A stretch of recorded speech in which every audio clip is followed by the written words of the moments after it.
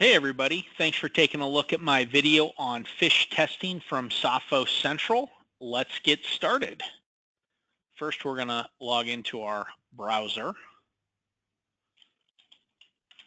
Log on to Sophos Central. This is going to go pretty quick thanks to my password manager. It's going to auto log me in.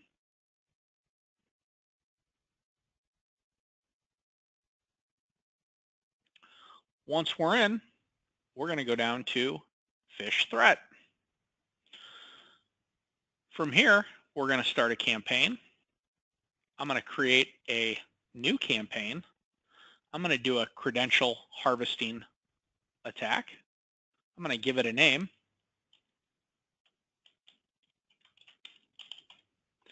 I'm going to choose which training I want to use. Now I can click in the middle here to view any of these trainings. I already know which one I want to use though, so I'm just going to select it. We'll continue.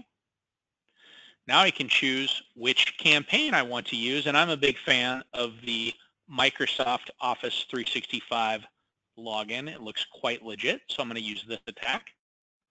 We'll continue on. Now I can start the uh, delivery to the end user if I want to no need. This is already pretty solid, so there's not much uh, that I really want to change here. I can start this later on. I can spread it out so that folks are getting this uh, throughout the week or throughout the day, especially if I have a lot of users, I might want to spread that out. I can send myself a test email and make sure that everything looks the way that I thought it was going to look. I could also create my own custom template if I wanted to. Now, once I choose complete the attack, I'm not quite done. I'm back at a dashboard, but you can see that nothing is going on here. Next, I need to enroll my employees, and I'm going to just choose myself. I'll return to the campaign. You can see I have one email pending. The last thing for me to do here now is start the campaign, and this is going to kick it off. The next thing that I'm going to see is an email come into my inbox that is going to look just like this. You can see right here I'm getting a Microsoft support uh, situation, but it's actually from Microsoft support, uh, a little hard to, uh, to catch, and it's given me a direction to microsoftsupport.com posing under this fake link. I'll click on that and you can see here this is going to be a, a screen that if you're an Office 365 user probably looks very familiar to you. I'm going to go ahead and type in my email. Ultimately, doesn't really matter what you punch in here because this isn't recording any data anyway, and it's fake. So anything you punch in is going to work. When I click on sign in, the next thing that I'm going to get now is the warning that I've had an issue. This wasn't a real attack, but it could have been.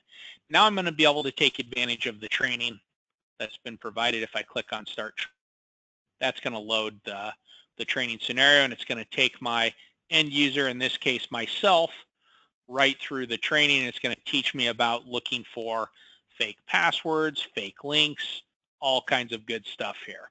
Once I've completed this, I'm going to get a little notification back in the dashboard telling me which users have taken it and which users So if I hop back over to my dashboard, now you can see that I've had one email sent. It's been opened. It's been clicked. The credentials have been entered. The training has yet to be done, but that would be the next thing. I can also collect some additional information down here. Right? I can notify an end user's manager if they have failed this attack. I can choose to send them additional uh, trainings. I can also continue phishing them with all kinds of different campaigns and I can track all of that stuff from my main dashboard here so I can see where I'm at with my various kinds of employees and my various kinds of attacks. Thanks a lot for taking a look. If you have more questions or want to see a more thorough demo, please chat with your productive rep. Thanks and have a great